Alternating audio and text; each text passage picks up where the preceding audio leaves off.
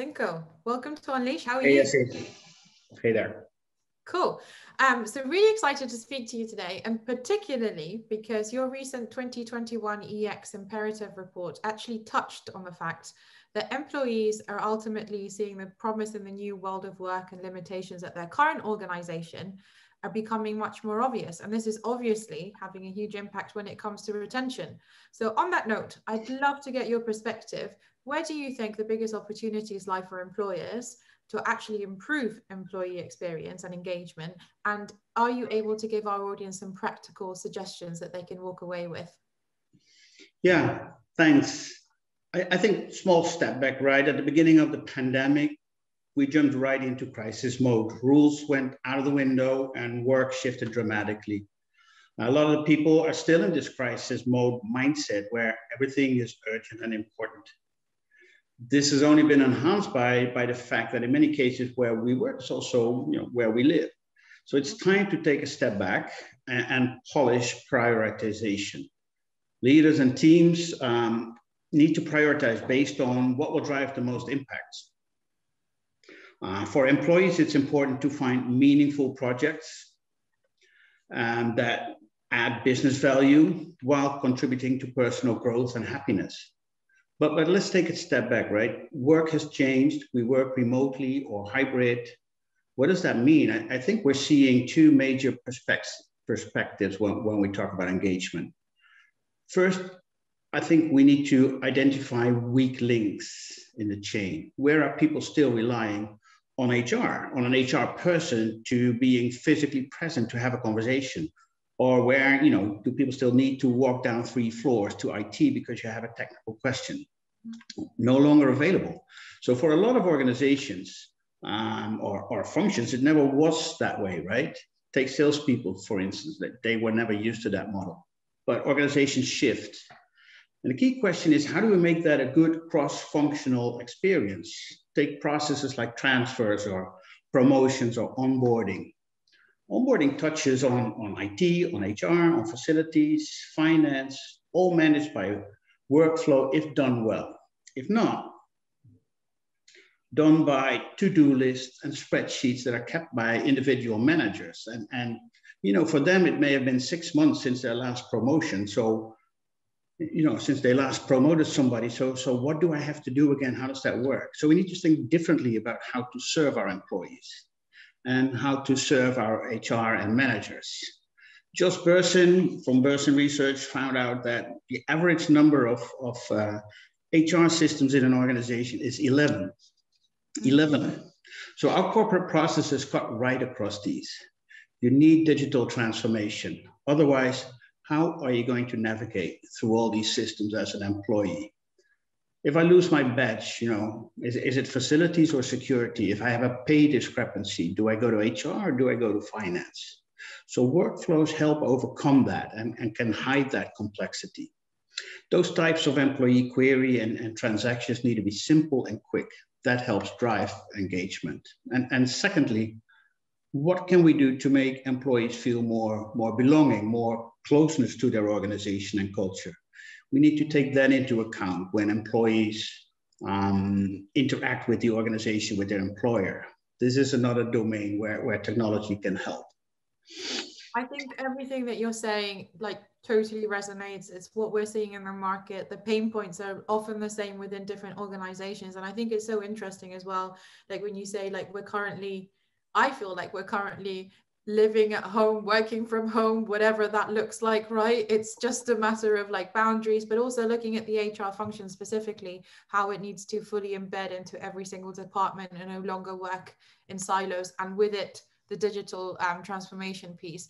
But yeah, and also you know take take more complex processes like like I mentioned before, right? Transfer, onboarding, promotion, when I promote someone in my team to a manager position, that, that is a serious moment, even when they're remote, right? Also in this new constellation.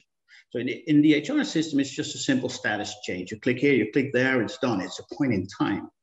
Whereas in real life, it's a journey. And beyond the status change, there is a massive change going on for that person. And we need to support the employee on that journey. See if we can assign a peer in the team. You know, maybe there are brief snippets of learning, videos, etc., to help in certain moments on that journey. There's coaching, suggestions, feedback, etc., all to help him land softly and slide nicely into, into the role. So um, yeah, just wanted to add that, that that's what you know we, we have functionality now that's called journey accelerator that has most of the elements that i mentioned to create an experience focused on ramping up even though you're remote right I think that's really interesting for sure. And if we think about like, you know, the return to the workplace and however that looks like, whether it's a fully um, fully flexible approach or hybrid, um, I don't envy anybody working in HR at the moment, right? Because if you look at it across the board, there's logistical, ethical, emotional challenges. You think you need to think about health screening, you need to think about vaccine distribution, mental health, which is so important, but also uh, thinking how you kind of bring in remote working into the organization for the long term. Um, and I know that this is a really open-ended question, but I would love to get your perspective in terms of how um, HR leaders can actually prepare and then also manage the workplace experience to make sure that employees can actually go back to work with confidence, uh, but also with safety. Yeah, there's two sides to that. It, it's a very good point. There's two sides to that. You know, before before we look at our workplace, let, let's look at our people, right? Because due to, for instance, the social distancing regulations and, and the apprehension people might feel before going back to work, we need to see how we can match the workforce with the workplace. How many people do want to go back to work? And with the social distancing, how many places do we have in the workplace? So, and the other aspect, as we hopefully come to an end of this, this whole COVID experience, how do we look at our people? I am talking to organizations that are looking to dedicate teams or roles, specific roles around people and places only, workplaces, and putting that together. People and experience in, in whatever the work environment is going to be. So, like, how will the workplace look when employees return? But also, if you're not returning to the office, what can we do to keep you safe? Mm-hmm. And how do we make sure uh, that we're enable employees who are remote so that, but they can still have a high degree of touch and, and support? So, so that is the broader background organizations are investing in this domain. But more concretely, to your point of safety, um, those two aspects come back again employees and workplaces. So our employees should be able to rely on those two to be safe. So first and foremost, I think as an organization, you want to make sure you can inform your employees and listen to feedback, mm-hmm. Like surveys. Are you comfortable coming back to the workplace? So communication, two-way communication is key and it's important with, with that service, you give them the opportunity to indicate whether they feel safe, but also, you know, if they do, they need to be able to trust that their co-workers are safe and healthy. So that needs to be enabled as well through health screening and self-reporting. And then there's the workplace aspect. When we talk about safety, you know, workers need to have access to personal protection equipment. Um, the workplace needs to be arranged so that social distancing is in effect and you need to be able to reserve a space near your team, but knowing that that distance is kept right. Uh, so you block off certain workspaces. You need to make sure cleaning crews come in when after meeting a workspace or a conference room is vacated. So, and then should anything go wrong, you need to have contact tracing in place to help mediate the aftermath. Who did you meet with? Who were you close to, etc. And then, and then finally, a key factor I should add as well is time. It will take more than just implementing regular cleaning schedules, temperature checks, contact tracing, and social distancing policies. Employee sentiment must be brought to a point of trust and confidence, which will happen when, when they experience that things are, are well organized and under control. I think, that, yeah. I was just getting so excited there, particularly when you talk about, um, you know, like giving employees the, the, making them feel empowered. And actually, I think we do have a great opportunity to make work feel a lot more human. And mm-hmm. it's great that the technology is available to be able to do that, right? Because it is literally about what you said, like that, that two-way conversation piece. I think it's key. And if we look at your report, for example, um, the survey that you did found that 33% of your employees would actually prefer a hybrid approach to work, which I think is really interesting, but also more a little bit in line across what we're seeing across the market. People have been given that flexibility that allows them to kind of work around work and not the other way around, and are not always willing to give that up. So I think that's really um, a key point. But on that note, Um, and I know you touched on it a little bit, but if you think about from the employer perspective, how can they offer this option successfully um, to make sure that uh, we take into account all the different layers of complexity and all the different um, impact on fluidity, particularly when it comes to traditional ways of working in the office, but also uh, at work? Yeah, it's interesting. There's, uh, you see the swift change to working from home well, I see it as, as you know, all of a sudden everybody's work from home. That's a business model innovation that is enabled by digital transformation and cloud computing. And we were talking for organizations for years, right? And, and about digital transformation. And a lot of organizations would say, you know, we understand that we need to digitally transform, but you know, we need a couple of years. We need to change the culture, etc. And guess what? COVID-19 happens and you know, it's a pressure cooker mode and everybody has changed, has digitally transformed, or is currently in the process to do so to optimize their processes. So now, you know, work from home or work from anywhere is definitely here to stay.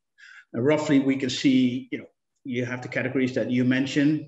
Uh, roughly, you can see three three categories, right? Um, those who prefer working from home as much as possible, those are eager to get back to the to the office environment. You know, they may have small houses with, with lots of small kids.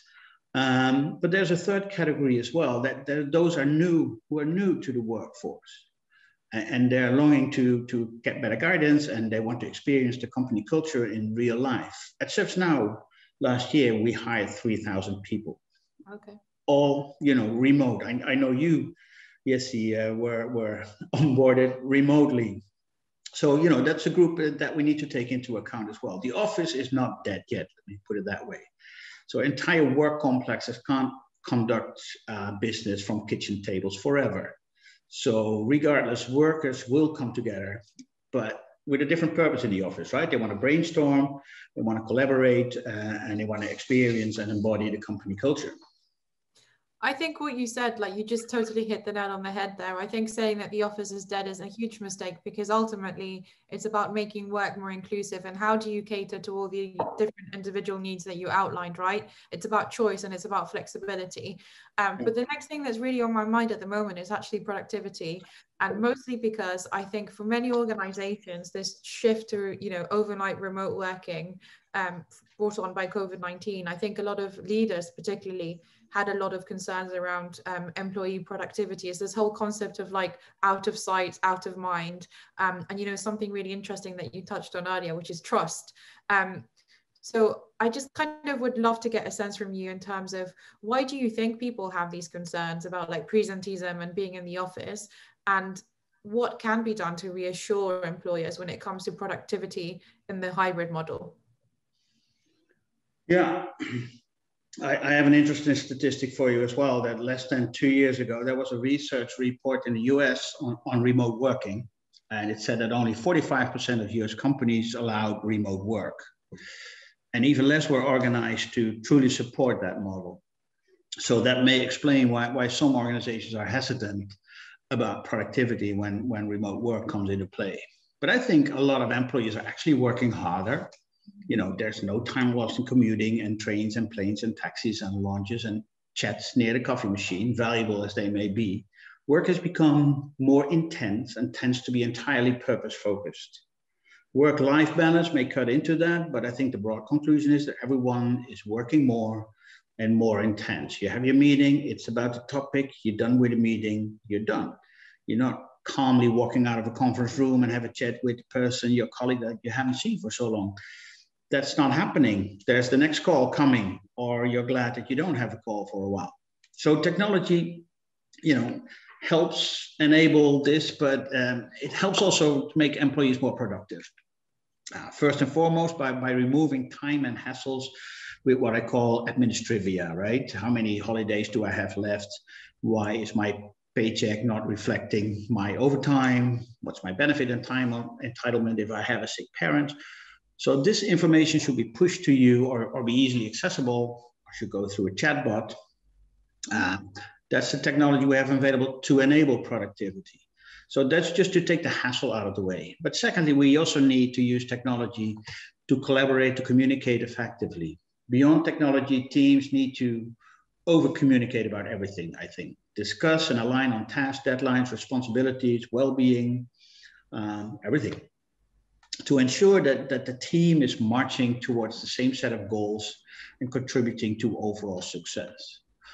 And, and also, I think that uh, I think about what norms apply to the remote situation, right? And, and we should be intentional in defining them. Will people be always on? Can we expect that? What, what are the working hours when an immediate reply is needed or expected? Are you expected to have cameras on always? Right? So, well, I have two, two more suggestions for you. One as an employee, you know, I thought about that. You have to set boundaries, build a routine, maintain a work-life balance that works for you, and stick to it. This is this is something we've heard for years, but it's never been more important than now, when in many cases where we work is where also where we live. It can be hard to create boundaries, so finding and, and sticking to a routine that works for you is critical. The, people who've worked from home for years are successful because they figured out a schedule that allows them to be productive and, and balanced. And then secondly, as a manager, you know, you have to be responsible for your team as you think about feedback, communication, and goal setting, think about how you're setting up your employees for, for long-term growth. Remote work may, may mean more coaching and counseling, but it may also mean changing up how you assign specific projects. Managers should create customized plans for each employee's growth path and communicate that. And, and finally, it's important, even remote or even more so remote, that you're there for your team, for your team members in the moments that matter. That could be onboarding, that could be promotion, but it could be an unexpected life event outside of direct work as well. Does that make sense? Totally. I've been working remotely for years and I felt like I had it down to a T.